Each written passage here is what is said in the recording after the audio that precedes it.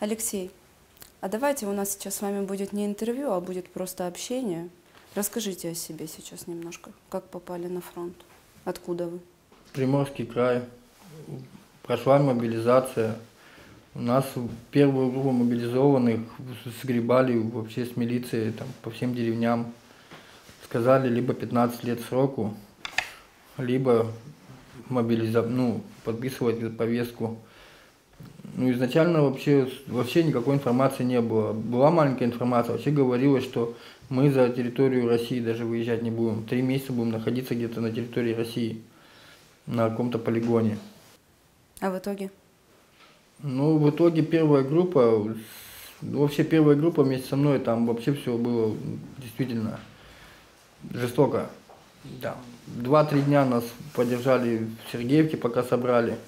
Потом перевезли сюда, два-три дня в одном месте, два-три дня в другом. И закинули сразу на передовые позиции. Хотя вот пока еще были там, говорилось, что нам грозит максимальная третья линия обороны. Вы считаете нормально 15 лет срока, если вы откажетесь от чего-то в вашем так званом государстве?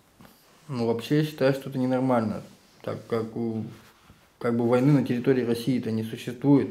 Но там не было времени на размышления, там не давалось. Они приезжали, меня, например, забрали с работы. Рядом со мной были товарищи, вот у них прям, вот представляете, вот семь домов на одной улице, вот семь человек, семь соседей.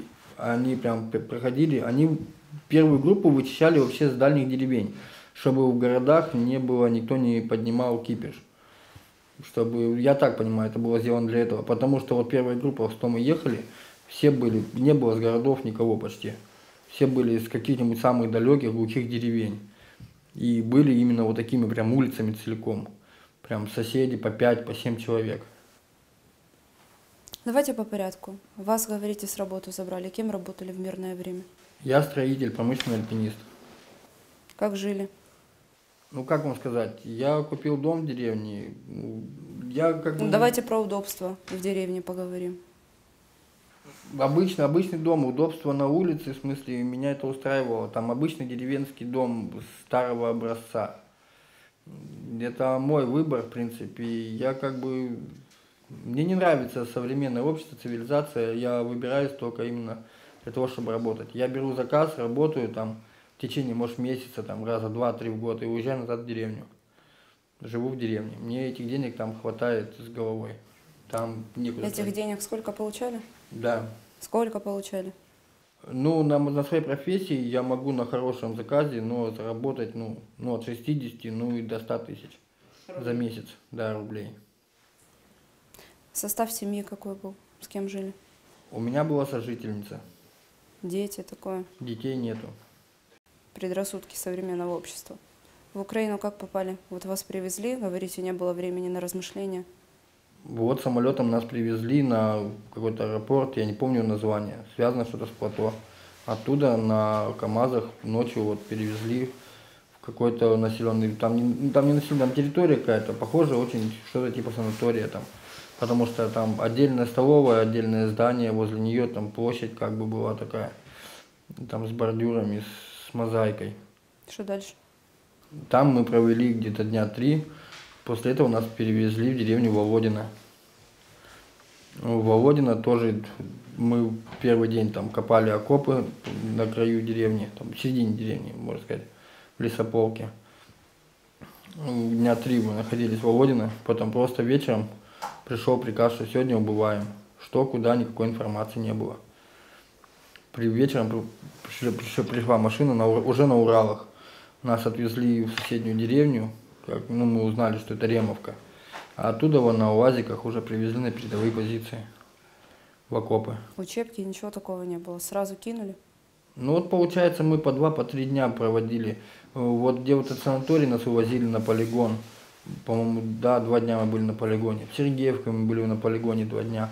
В Володино мы, получается, копали окопы и одну ночь жили в них. В принципе, это и все обучение что страна нас бросила.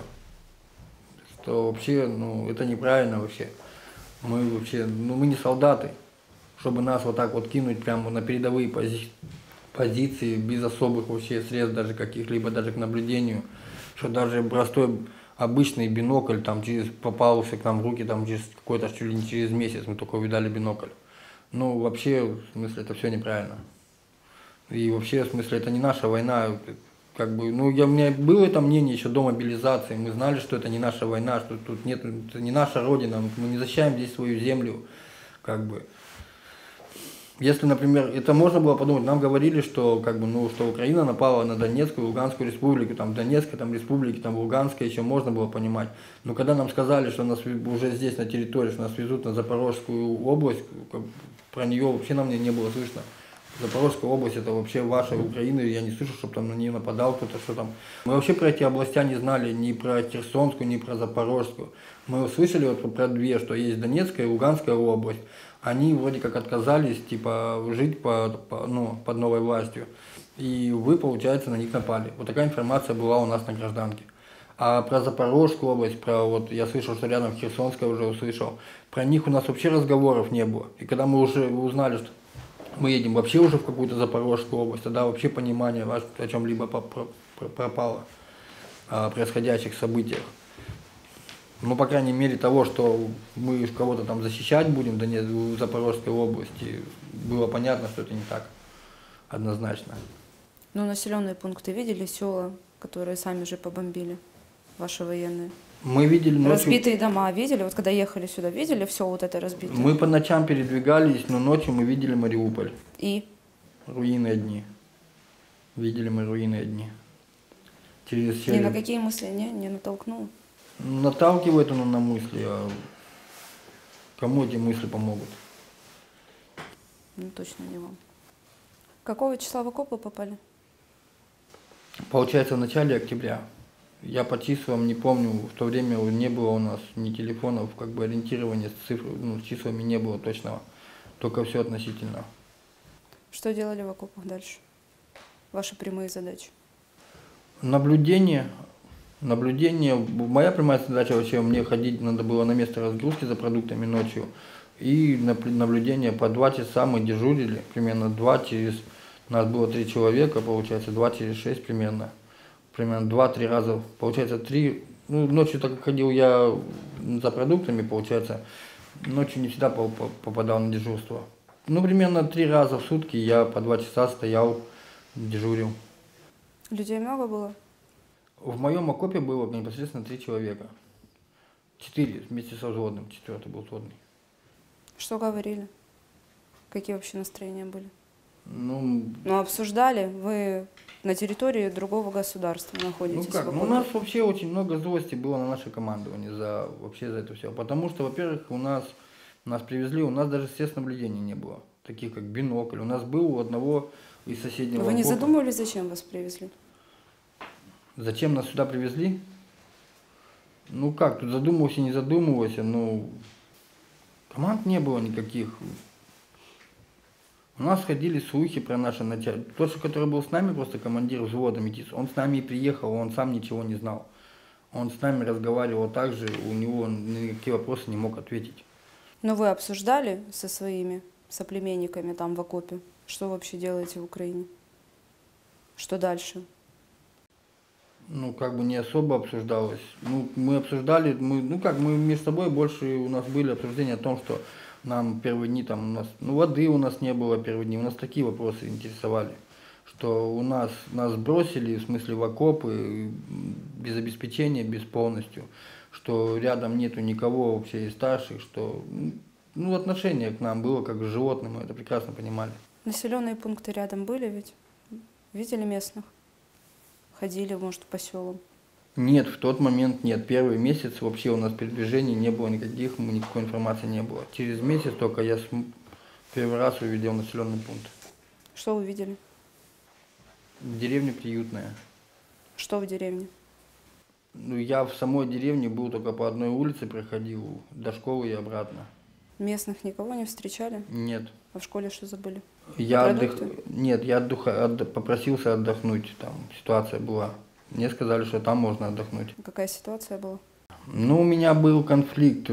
Сначала был конфликт э, внутри окопа с, с Якутом. Я хотел попроситься, чтобы меня перевели в другой взвод. Э, Пока я добрался до командира роты, то я к нему уже попал, уже как дезертир, бросивший позицию. Уже в таком ракурсе. Потом через три дня произошла ситуация, что меня по ошибке, вот я когда носил БК с места разгрузки, меня вообще по ошибке забрали. Они должны были вывести два человека в ту ночь. Но никого не вывели, а я как, ну, поймали меня, то, что я пришел с первой роты. Меня забрали на обучение на ПТУ.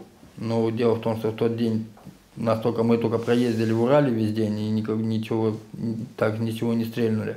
Вечером привезли нас назад на позиции, и тогда конкретно уже ротный, ну, меня полностью сделал дезертиром. Он полностью меня разоружил, там, и туда-сюда под конвоем отправил вот на место разгрузки, чтобы... Ну, он мне сказал, как, даю тебе две секунды решить, там, ты будешь это нормальным солдатом, или как у него поговорка была, ФСБ тюрьма, а, ФСБ Ростов тюрьма.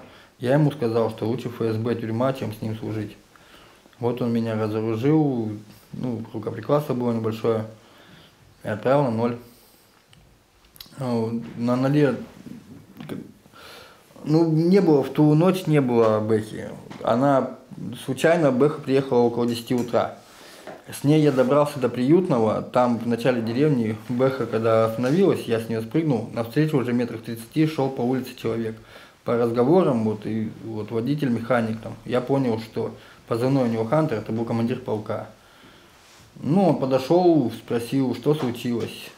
Я ему примерно начал, а, я ему сказал, что не хочу служить его полностью, хочу домой, в смысле, хочу добровольно отказаться от несения службы. Он сказал, что у него в полку пятисотых не бывает, репутацию он портить себе не будет, ему легче меня он завести за бэху и домой отправить двухсотым. Ну, не отправил же.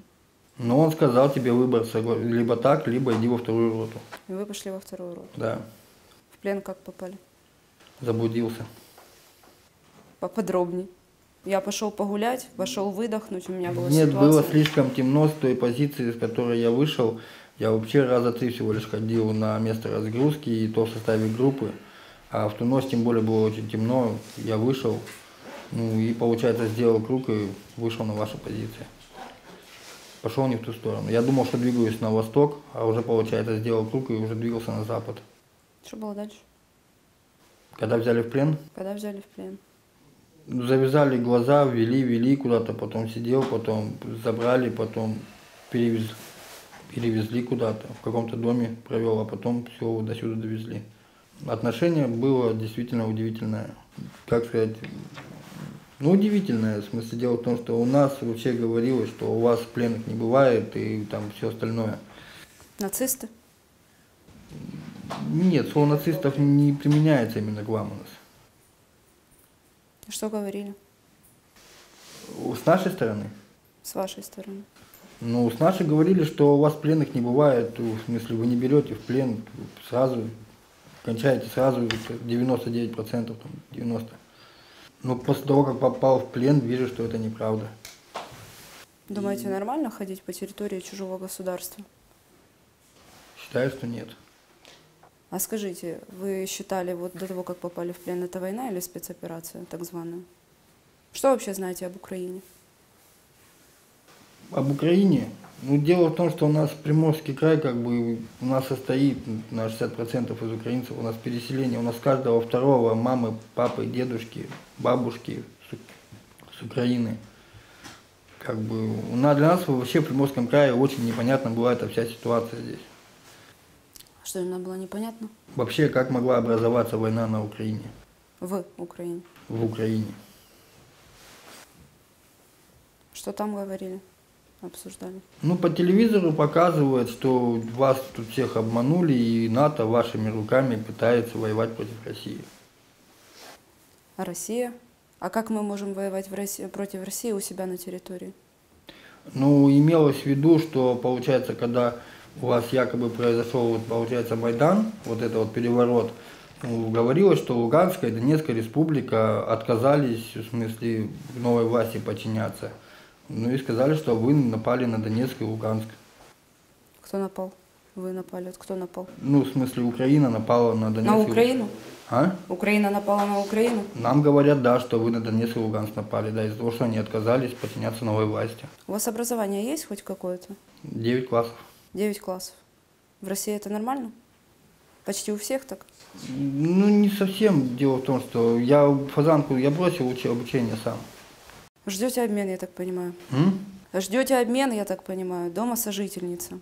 Нет, отношения. сожительницы нету, я полтора года с ней уже не живу. Дома кто-то ждет? Да, ждут. Кто? Сестры и брат. Сестры, брат. Чем брат занимается? Брат не идет Тоже воевать? строитель, нет, не идет. Почему? У него бронь. У него его не заберут. Повезло, да, Да. брату? Что дома говорят? Сестры, брат. Пошли вы. Поддерживали? Нет, конечно. Они... Что-то пытались сделать? Ходили в военкоматы? Там поздно было что делать, там все ходили в военкомат. Все родители, родственники, все, кого забирали. Все ходили в военкомат. Я слышал, через три дня его даже подожгли. Даже до такого дошло. Отношение ваших сестер, братьев э, к тому, что происходит в Украине сегодня? Что они говорят? Ну, вы же с ними обсуждали до того, как попали в плен. Пошел, что делать? Ну, как Пошел бы отрицательная сама война, потому ну, старшая сестра, Ну, что она, она, она верующая, например, а для нее вообще слово война в любом эквиваленте, оно страшно звучит. Младшие сестры, она воспитательница, как бы детского сада, они такого образа мышления у меня. Для них вообще просто слово война, это, ну, это страшно. Что они сделали, чтобы этого не было? Ваш край что сделал? Для того, чтобы вот таких, как вы, ваших соплеменников не отправляли. Я не знаю, Что вы не знаете? что делал нас, сделал наш край, чтобы нас не отправляли. Вот я единственное знаю, что у нас в городе, что нас военкомат поджигали. Это единственное, что я знаю. Позвонить хотите домой? Я не знаю, что сказать. До этого что говорили? Ну вот вчера До записи сказали, вчера звонили. Что да, дома? вчера звонил. Ну сказал, что живой, здоровый, что обращается хорошо, что мне сказали, что надо передали ей, что надо ей сходить в военкомат, там, написать заявление какое-то о том, что я нахожусь в плену, что не, не без вести пропавший. Что хотелось бы сказать еще своим соплеменникам? Ну, тем, кто, может быть, идет по доброй воле на войну. Конечно, что здесь нечего делать, это не наша война. Тут нету войны в смысле нашей. Тут не наша территория. Ну, я вам так скажу, те, кто старше, мобилизованные из старшего возраста, они все это прекрасно понимают. Есть молодые, да, среди нас были, кто вот там 20-летние, там 22 года, кто вот контрактники, например. Они, может, солдаты, они как-то, может, фанатики, они, может, считают, что это что-то есть хорошее в этом. А мое вот, вот мой, мой призыв, который вот при- мобилизо- мобилизованный, там все пахари, там у всех дети, там мечтают затрехсотиться, чтобы только домой попасть отсюда. Потому что сказали, что отсюда другого варианта уехать нету, либо двухсотым, либо трехсотым.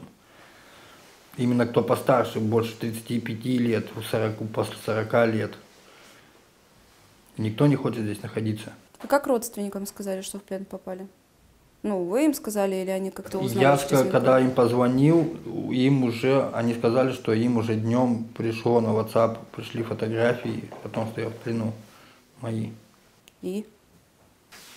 Все. Давайте позвоним. Сестре? Сестре.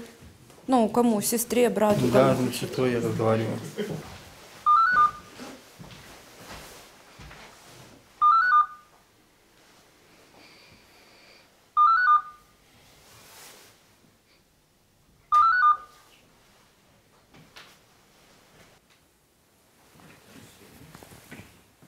Еще раз попробуй. Ну, я реально не слышал ни разу, чтобы через Телеграм звонили. Ну, в селе вообще интернет есть? Там Сестра не в селе, села в, гор- в городе находится. Ну, удалось соединиться. Сестра в городе находится. Это я в селе, там отдельно живу. Ну, вот вы приедете назад в РФ, что вы будете делать? Все для того, чтобы сюда не вернуться. Что именно? Ну, сейчас... Дальше как вы будете жить? Вы побывали здесь, вы поняли, что здесь вообще не так, как вам рассказывают там. Проходит обмен, вас возвращают. Ну, если, не дай бог, зайдет разговор, чтобы меня сюда вернуть, я ногу сломаю себе. И дальше нога заживет. Ну, я не знаю, насколько это будет длиться. Но вообще мне сказали, что надо указательный палец лучше отрезать. снимками суют сразу. Ну, если с ним не призовут. Не думали вообще в обществе вашем что-то менять? Общаться с соседями, друзьями, знакомыми, они ж есть. Ну, вы знаете... Всё дело- устраивает в жизни в Нет, России? дело в... Да нет, конечно, просто об этом разговоры у нас так постоянно происходят, я не знаю. что- Кроме разговоров, что делаете, действия какие-то? Ну как, ну, В Украине, когда что-то не понравилось, люди собрались, пошли на Майдан. я, я вас понимаю, о чем вы. У нас тоже были митинги, но они почему-то быстро все заглухают. У нас просто, видать, из-за того, что страна большая, все раскидано, сообща, ну, общего большого митинга, видать, не было такого. Но у нас вот из больших даже, вот Приморский край с Хабаровским вместе одновременно собирались. У нас была ситуация, когда у нас мэр в Хабаровске новый пришел, он распродал имущество мэрии, там катера и дорогие автомобили, и деньги отправил там на больницы. Его быстро сняли с должности, короче. Вот за него выходило полностью Приморский край, выходил Хабаровский край, там еще какой-то край, по-моему, выходил. И тоже недели две, буквально три, и все, и прям заглушили все это. Волнение, то, что между нами, между всеми разговоры, ну, они постоянные, как бы. У нас только, ну, молодежь только рада, ну, им, только им жизнь нравится, и все, в принципе, как бы. Они считают, что все хорошо. Ну, молодежь там 20-летний, 16-летний. Я чаще общаюсь, у меня круг общения, например, вот, например, как вот 8 80 лет, например, пасечник, дедушка, вот такие вот, например, люди. Больше пожилых в моем кругу общения. А что пожилые говорят? Надо вернуть Советский Союз? Тогда было лучше. Да нет, такого особо нету прям разговора, что прям вернуть Советский Союз, потому что понимание есть того, что этого не будет, как бы.